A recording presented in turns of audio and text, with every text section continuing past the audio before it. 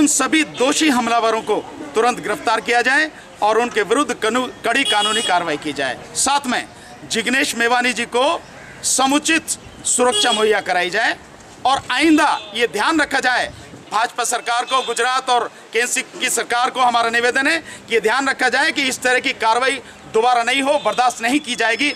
आज केवल सांकेतिक विरोध है, आगे पूरे देश में आंदोलन किया जाएगा। अभी अभी जो आठ माह पहले उत्तर प्रदेश में चुनाव हुआ है, उसमें दो परसेंट वोट बीजेपी का घट करके उनतालीस परसेंट रह गया, जिसमें कि 325 एमएलए बन करके सरकार बनाई। अभी जो पहली तारीख को रिज़ल्ट आया है एक दिसंबर को, नगर निगम, नगर पालिका, नगर पंचायत के जो चुनाव हुए हैं, उसमें बीजेपी कितनी धराशायी हुई है, ये उनको अंदाज़ा हो गया, लेकिन टीवी पे आकर के, अखबार में आकर के अपनी छाती पीट रहे अपनी पीठ ठोक रहे और कह रहे कि हमने उत्तर प्रदेश जीत लिया, जबकि सच्चाई ये है कि नगर निगम उत्तर प्रदेश में सोलह हैं, चौदह वो जीते हैं, उसमें वास्तव में फ़र्स्ट नंबर पर आए हैं, दो बसपा ने जीती है।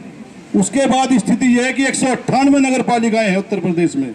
उसमें से केवल और केवल सत्तर जीती है बीजेपी 128 हारी है।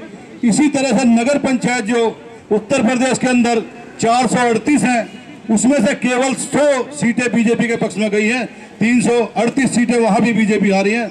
यदि आज उत्तर प्रदेश में सभासदों का और पार्षदों का औसत लगाया जाए तो केवल और केवल 18.3 प्रतिशत पर बीजेपी जीत करके आई है। जबकि वहाँ आज शासन बीजेपी का ज़्यादा जीतनी चाहिए थी, गुंडागर्दी का भी अपना जो भी प्रयास किया गया, प्रयास किया गया, लेकिन वहाँ आज बयासी तिरासी परसेंट पर बीजेपी हार रही है।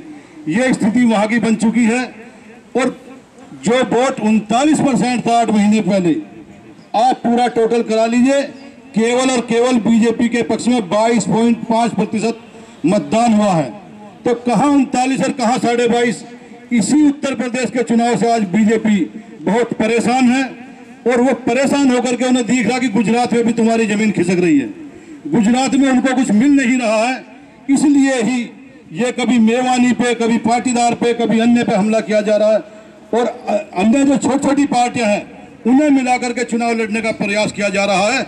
लेकिन ये अपने प्रयास में सफल नहीं होंगे नहीं होंगे नहीं होंगे। जब बीजेपी का वहाँ का रिज़ल्ट आएगा, आपको पता पड़ जाएगा कि पंद्रह साल की सरकार गुजरात की किस तरह से गई है। आज बीजेपी के जो काम है, वो किसी से छिपे नहीं है। पूरे देश को नोटबंदी करके किस तरह से परेशान किया गया है। उसके बाद जीएसटी लगा करके देश को बर्बाद किया गया। और बीजेपी वाले लोग, और बीजेपी के मुख्यमंत्री और बीजेपी के प्रधानमंत्री, जनता के बीच में आकर के कर क्या रहे केवल और केवल झूठ झूठ झूठ का सहारा ले रहे हैं। इसके अलावा उनके पास कुछ है नहीं। यदि कोई काम की पूछता है तो केवल एक ही बात कहते हैं कि सत्तर साल का कांग्रेस का रोना धोना धोते हैं। कि कांग्रेस ने ये किया सत्तर साल पहले, उसको सुधार रहे हैं। अरे भाई, कब तक सुधारोगे? चार साल में भी कुछ सुधार नहीं आया। केवल उत्तर प्रदेश में हो या पंजाब में, हरियाणा में, राजस्थान में, गुजरात में। इन चार साल के अंदर मोदी ने कोई भी कार्य नहीं किया है।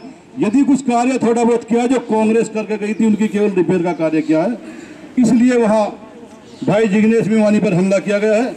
लेकिन इससे जिग्नेश मेवानी जी हताश नहीं हुए इससे दलित समाज में, बहुजन समाज में और एकजुटता आई है।